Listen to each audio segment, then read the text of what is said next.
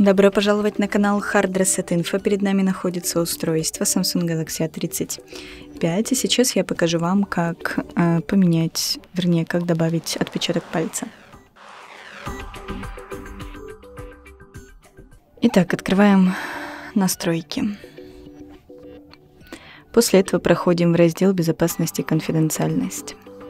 Здесь мы выбираем биометрические данные, далее выбираем отпечатки пальцев, нажимаем «Продолжить», нажимаем «Далее», и прежде чем мы добавим отпечаток, нужно установить пароль.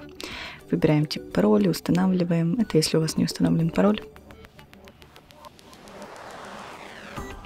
И нажимаем «Зарегистрировать». Теперь можем начать прикладывать палец к сканеру.